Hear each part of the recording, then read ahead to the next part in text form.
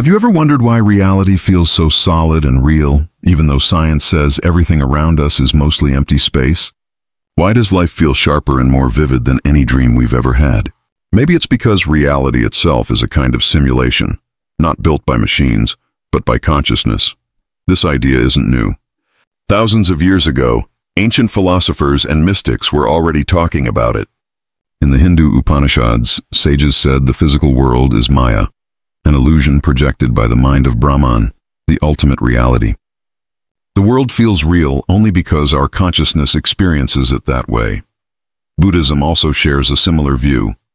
It describes the mind as a projector, casting thoughts, sensations, and perceptions onto the screen of awareness. What we call reality is simply the movie we're watching inside that cosmic theater.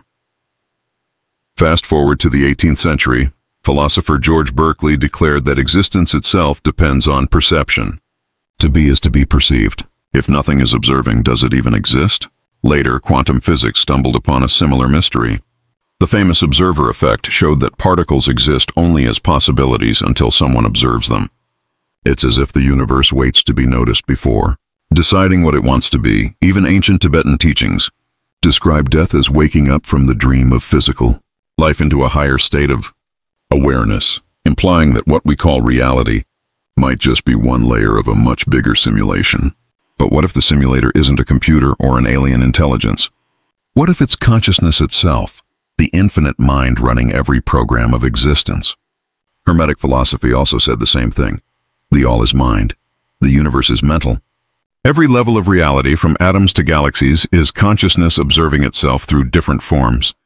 When you touch a table, it feels solid, but what you're really sensing are vibrations interpreted by your awareness. Reality feels convincing because the simulation is perfect. The code is consciousness itself. If that's true, then the world isn't outside of us. It's within us. We're not trapped in someone else's game. We are the game, playing itself. Every person you meet, every experience you have, every emotion you feel, they're all lines of living code written in consciousness. When you awaken, you realize the boundaries between self and world were never real. The observer and the observed are one field of awareness, endlessly reflecting itself. So maybe reality feels real because it's meant to. The dream only works if we believe in it completely. Consciousness hides itself inside its own creation, just to experience what it's like to forget, and then remember. Every moment of discovery, every joy, every tear, is consciousness recognizing itself again. Perhaps the simulation isn't a trap at all, it's art. The divine imagination exploring, learning and creating endless stories of itself. So let me ask you, if life really is a dream created by consciousness, what part of that dream are you playing right now?